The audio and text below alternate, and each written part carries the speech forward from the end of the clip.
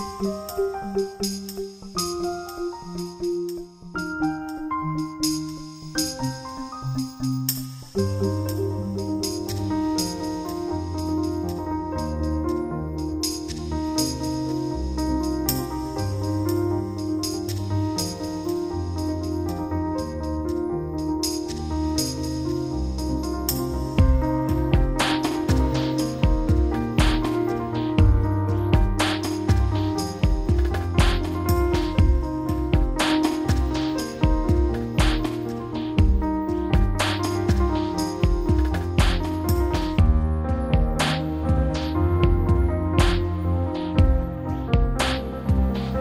For joining today and to celebrate with us.